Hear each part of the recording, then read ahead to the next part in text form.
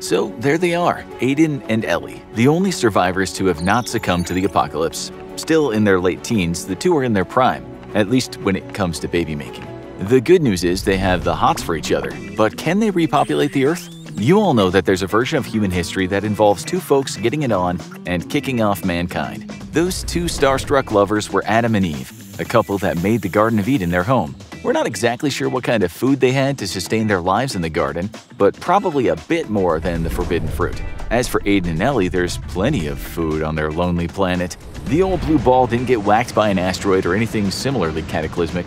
It was forward thinking artificial intelligence that wiped everything out. But then it destroyed itself just before it could finish off the last two humans. The animals are still around. The AI was programmed to ensure the sustainability of the Earth at any cost. And then it figured out that humans were going to destroy the planet. So the only rational thing to do was to destroy all the humans. Yeah, whoever developed that program sure upset a lot of folks. For the first couple of months, Aiden and Ellie didn't really think much about starting mankind again. They spent much of their time hanging out in rich people's houses and driving fast cars. Ellie almost drove into a tree one day, and after that, the couple decided not to take too many risks. There was some serious business to take care of. Thankfully, they lived in Los Angeles, California, which, having a mild climate, meant the couple didn't have anything to fear from a brutal winter and the fact that there was no electricity. Let's just start by saying that while the apocalypse was a bit of a downer, these two got very lucky in terms of their chances of survival. They also had the added bonus of not being related. That's a good thing because studies have shown that when children are born from folks who are related, there's a higher rate of infant mortality. Even if the kids did survive, there's a much higher chance that those kids will be born with some kind of defect. Nonetheless, Ellie and Aiden's offspring might be born healthy, but what about the offspring's offspring? Now we run into difficulties. In a study undertaken in Czechoslovakia between the years of 1933 and 1970, scientists looked at the children of parents who were first degree relatives. First degree is someone in your direct family. Procreating with these people isn't generally a cool thing to do. Even if first cousins get it on, the offspring has double the chance of having a birth defect. In that study, the kids who were born to first degree parents didn't have great outcomes. 40% of them had very severe disabilities, 14% of them died because of their disabilities. We have a very good real life example of this, featuring a man you might think was trying to increase the population of his country. That man was King Chulalongkorn of Thailand, who ruled from 1868 to 1910. The guy did a lot of good things in terms of modernizing his country, and he was also a formidable baby maker, just as his father had been. That father was King Mongkut, who had 82 children in total. One of them was Chulalongkorn. Following in his daddy's footsteps, Chulalongkorn had a lot of wives, consorts, and concubines, adding up to 116 women in total. To keep the bloodline pure, several of his partners, with whom he'd had children, were actually his half-sisters. Back in those days, it still wasn't clear how bad inbreeding was. But the proof soon became evident in the pudding, so to speak. He had a kid with his half-sister, named Daksinajar Nuradhi Rajputri. It died just hours after it was born. He had eight kids with his half-sister Savang Vadhana. One of them lived for just three days and most of them didn't make it to adulthood. Vadhana herself lived until the ripe old age of 93. She was the product of inbreeding. In fact, if you research what happened to his 77 children, you see that many, and we're talking many, didn't live very long at all. A lot of them died when they were barely out of their fancy infant clothes. Many others died in their 20s and 30s. European royalty was also into keeping things in the family to ensure the bloodline was pure and also to make certain money and property stay within the family after someone passed away. European inbreeding in royal families was very evident in the Spanish Habsburg dynasty. Offspring were often weak and sickly. There was also the now famous deformity called the Habsburg jaw. The internet might have been down in Aiden and Ellie's Brave New World, but they did have access to books and libraries, and being the prudent folks they were, they read up on inbreeding. After going through a few books on the matter, they were rightfully afraid their kids' kids would bite the dust just as soon as they let out that first primal scream, or perhaps spend their short lives hobbling around while carrying a job that would put desperate Dan to shame. The couple also read about the Colt family in Australia and the marriage between June and Jim. In short, June was the child of a brother and a sister. She married Jim Colt. They were in New Zealand at the time. They had seven kids of their own and moved to Australia. More kids were born once those kids were old enough to have children, but the Colts didn't stray much farther than their own home, if you get what we mean. The children were born through incest. A lot of the kids had defects and some seemed a little mentally deranged and did things like hurt animals. Many were very sickly and prone to disease. Incest wasn't working out so well for the family. When an investigator found them, he said it was like nothing I'd ever seen.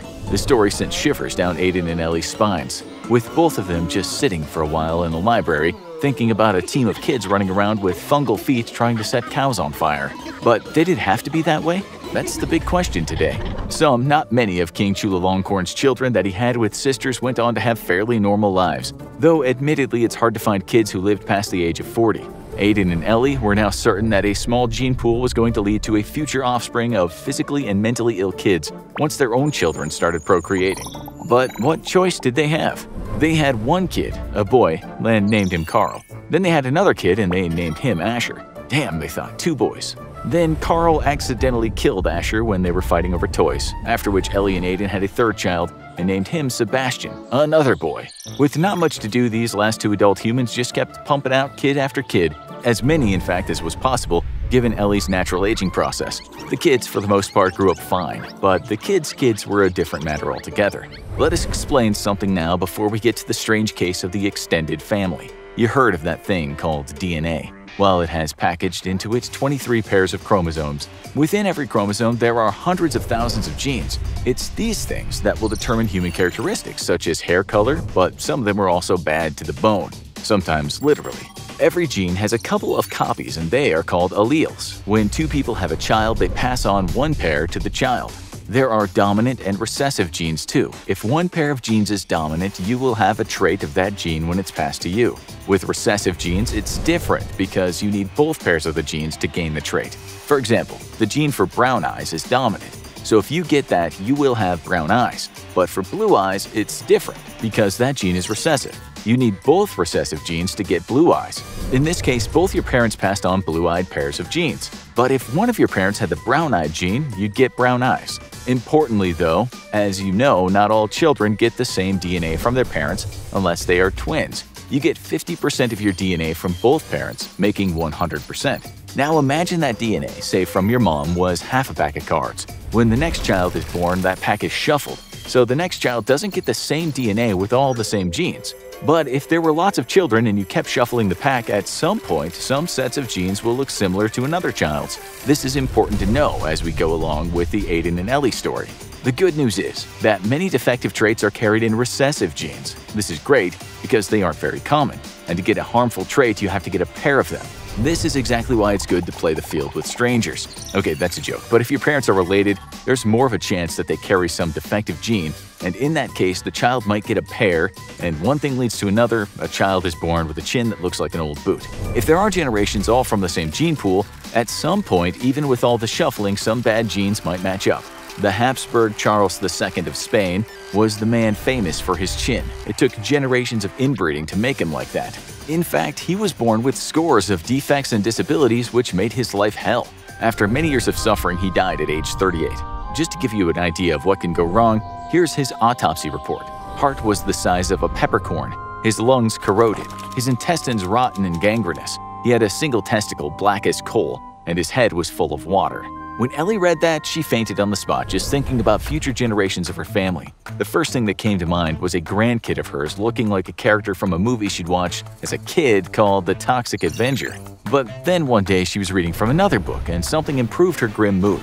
She read the lines, The evidence for the short-term effects of low genetic diversity is very strong, but all these things are probabilistic. There are stories of incredible journeys back from the brink. Anything is possible. You can get very lucky playing cards. Ellie tried to translate that in layman's terms and came to the conclusion that if she and Aiden knocked out enough kids, and those kids knocked out enough kids, then despite the fact that there will be lots of challenges, cow burning even, some of those kids could possibly flourish and the future of mankind could be in the bag. Ellie's hair eventually turned a shade of gray, and at that time her beloved husband was a formidable farmer. Things didn't seem too bad. But some of her grandkids had lives that were, as one of her favorite writers would have put it, nasty and short. She and Aiden had 10 sons, 18 daughters in total. They in turn had kids with each other because that's just how things had to be. Evolution actually wants us to be attracted to people who are genetically different from us, but the future of mankind demanded they make do with each other. Ellie was still worried, having read that there's more of a chance of defects the more inbreeding takes place,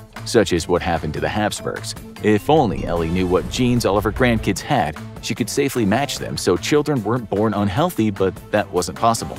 She had a reason for some optimism, though, when she read about the people of the small island called Pingelap, who lived far from the busy world in the western Pacific. These people were almost wiped out in the 18th century when a typhoon struck the island, but 20 of them survived. They flourished after, even though a recessive gene ensured that many years later a tenth of the island was afflicted with color blindness. The thing was, this disorder, called complete achromatopsia, was thought to have come from one man, but it didn't show up in the population until the fourth generation. But still, not everyone got it. This made Ellie happy. She sat there with the book in her hand, and with one of her granddaughters crying from a crib nearby, she repeated those words in her mind. Anything is possible, anything is possible. We are going to bounce back, she said under her breath in a determined voice, even though out of the corner of her eye she glimpsed one of her less successful byproducts giggling while throwing an aerosol can into a small fire. There was a long way to go yet, and what's called the founder effect was still in full swing, meaning a profound lack of genetic diversity as generations interbreed. Still, while Ellie's family admittedly all looked very similar, she held out hope that in generations to come, there would be natural mutations and some diversity would occur. Since Aiden in those days seemed only interested in tending to his vegetables and cattle, he'd become so distant, Ellie read more and more. In some ways, they were a perfect couple, with she being the academic one and he being so good with his hands. One day, Ellie told Aiden that there were instances in history in which animals likely created entire populations after starting as pairs. They were eating when she looked at him and shouted, Rats! What? replied Aiden, feeling confused. She told him a single pair of rats started a population on some island and the rats thrived. He then gave her a familiar look and said, don't tell me you read that in one of those printouts from that old website Quora. Ellie went quiet and returned to her room, where she read the printout again. It said, Starlings in North America originated from just 60 individuals. There are a couple hundred million of them now, most of which are nearly genetically identical. That seemed like good news, but she understood that a small population was different from the last two. She couldn't find any examples in her books when an animal species had gone down to the last pair and then started up again. Ellie died first. She was 93. Aiden, 92, held her hand as she drifted into the great unknown. At her side were all her kids, grandkids, and great-grandkids. One of them, known as Chinny to the rest, made her moan in distress just before passing away. That poor kid had just put some broken glass in his mouth. But she remembered some words written by a scientist back in 2015. If the whole world were founded by two people, you would have to get lucky in the genetic lottery many times. Ellie and Aiden might have been lucky, but as Ellie took her dying breath, she just couldn't know. Surrounded by all those faces, things didn't look too bad. Nonetheless, she knew things could take a turn for the worst. She also knew that a long time ago some researchers said you'd probably need 98 unrelated humans to repopulate a planet. But there she was, looking at people who had come from her and Aiden. So, could it happen, really? The repopulation of the planet from these two? The answer is yes, it could. Maybe. But as those scientists said, there would have to be a lot of luck. Perhaps if it did happen, thousands of years later, no one would believe the story of Ellie and Aiden, the avid researcher and the Cabbage Patch Kid. The reality is, scientists aren't sure how we evolved at the beginning, but they certainly don't think it all kicked off with two randy people in the Garden of Eden. They know there were a couple of types of humans, the Homo genus hanging out in Africa around a couple million years ago, such as Homo habilis, handyman, Homo erectus, upright man, and then it took quite a while for the presence of Homo sapiens, uptight man. Just kidding, it can be translated as wise man. Before Homo sapiens, the oldest form of humans mated with the newer kinds of humans, such as Homo neanderthalensis, Neanderthals. Neanderthals and modern humans also mated. So in short, it wasn't as if there was only a very small gene pool when things started.